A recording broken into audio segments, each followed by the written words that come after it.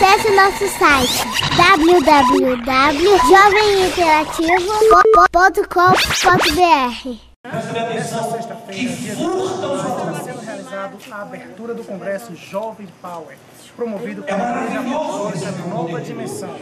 Participam do evento o Ministério Quem o de Teatro e o Ministério Som da vindo lá de Maceió. Neste momento, o apóstolo evangelista está pregando E de repente mensagem o jovem está para o coração no arraial, no seu melhor tempo, na sua maior expressão de vida cristã. Sendo filho de excelência, sendo discípulo de nobreza, presta bem atenção.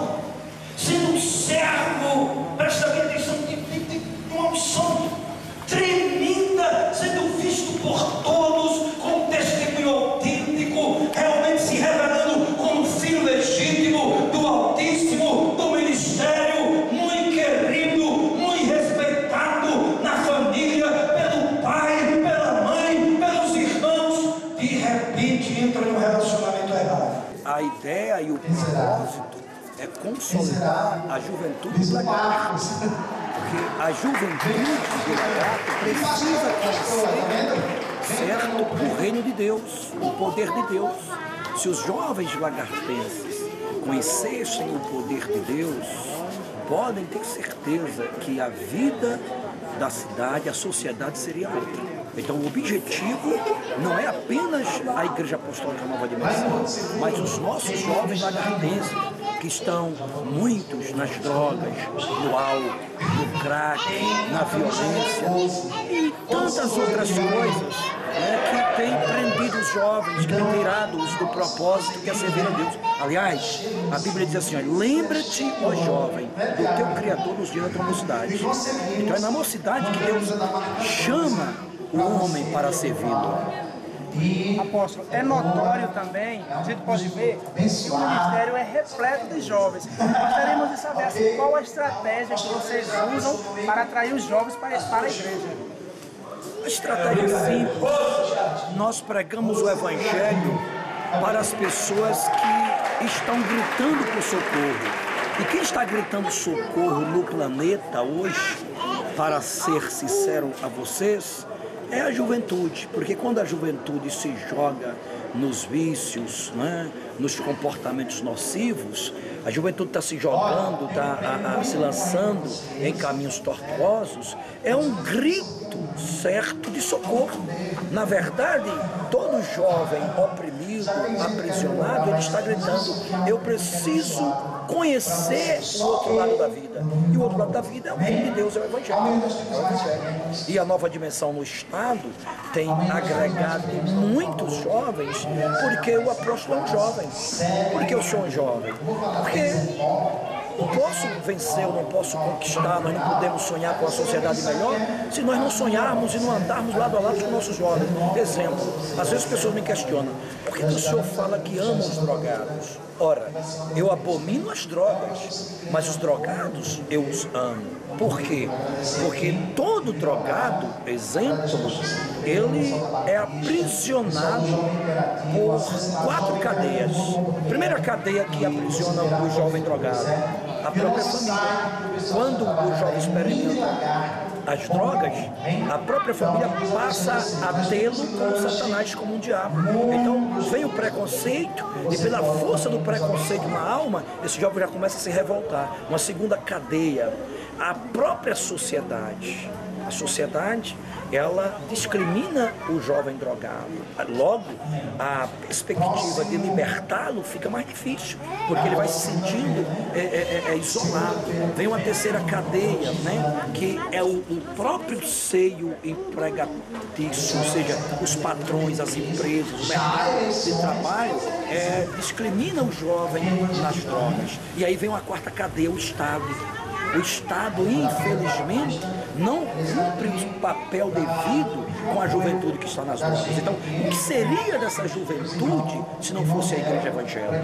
E a Igreja Apostólica Nova Dimensão, como Ministério Evangélico no Estado de Sergipe, tem esse carinho com esses jovens, porque uma boa parte dos jovens que chegam nessas igrejas se libertam do álcool, das drogas, da violência, da agressividade familiar. Então, nós nos damos muito com eles porque é o futuro da nação, essa juventude. Isso sem desprezar o ancião, certo? O indivíduo está entrando na meia-idade, mas esse é um Brasil jovem e nós, evangélicos, vamos mudar a história desse país através da juventude. Eu era adolescente, eu fiz a melhor opção da minha vida, foi andar com o Senhor Jesus. Andar com o Senhor Jesus. Eu não sei se você, eu não sei como é que você chegou aqui hoje, mas eu sei de uma coisa, olha. O Deus que eu conheço é um Deus que pode fazer coisas impossíveis para você. Olha para alguém que está perto de você e diga assim: o Senhor pode fazer coisas impossíveis, impossíveis, impossíveis. Diz isso para cinco pessoas aí que estão perto de você aí. Que o Senhor pode fazer coisas impossíveis ao seu favor.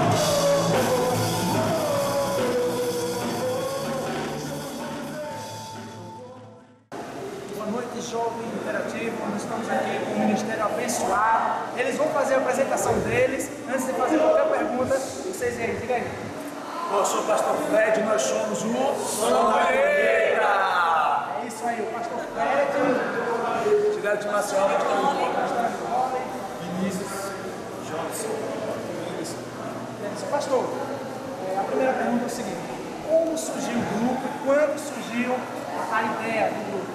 Na verdade, o grupo começou lá na nossa igreja, lá em Maceió, igreja Seara, e começou com uma, uma proporção diferente e nós acabamos tendo um projeto a nível, a nível de Estado e hoje a nível de Brasil. Mas começou mesmo é, lá na nossa rede juvenil, na igreja Seara, em Maceió, onde sou pastor, esposa é pastora, é, o Vinícius serve com a gente, os filhos estão na nossa terra, mas nós é, somos a igreja Seara e servimos nessa mesa.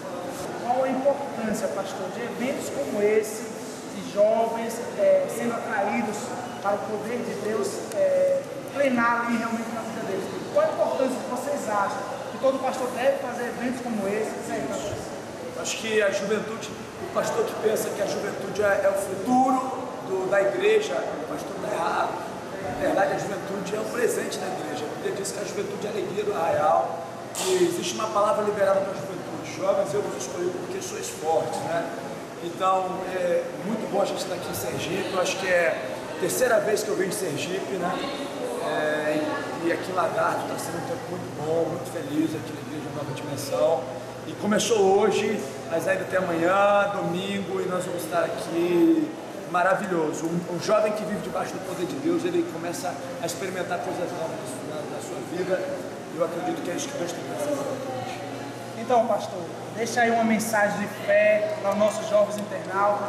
Gostaria que você falasse um pouco é, do poder de Deus, qual a importância do jovem aceitar Jesus hoje. Deixa uma mensagem de fé para os nossos jovens internautas. Eu fui criado dentro da igreja, mas na verdade eu não, não vivi uma vida plena com Deus. Na minha adolescência, a melhor decisão que eu fiz na minha vida foi ter me entregado por um tempo para Deus. Consegui ter uma boa família abençoada, minha esposa, pastor Nicole, e temos filhos, e temos uma vida plena de paz, de alegria. Eu acho que é isso que Deus oferece. O jovem que decide fazer essa escolha, decide andar nos caminhos do Senhor, ele começa a experimentar um, um patamar diferenciado de, de vida, e é isso que Deus tem para nós. Então, eu queria dar, deixar um abraço para a galera da Jovem Interativo. Deus abençoe vocês, a galera do site que está acessando, pessoal aqui de Lagarto, pessoal de Sergipe. Deus abençoe você, tá bom? Um beijo no coração.